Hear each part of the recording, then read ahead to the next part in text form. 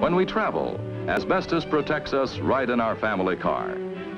Every time we touch the brakes, asbestos in the brake lining resists the heat of friction and brings us to a sure, safe stop. And does it time after time after time.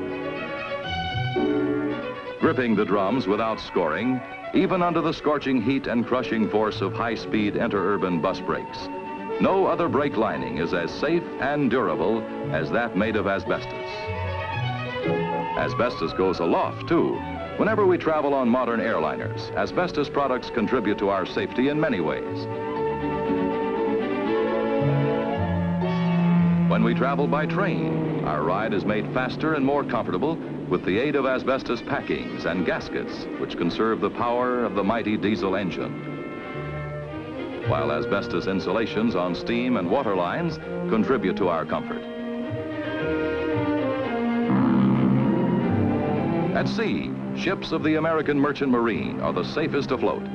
No small part in this achievement is played by the non-combustible asbestos panels used to build the walls and ceilings of cabins and public spaces.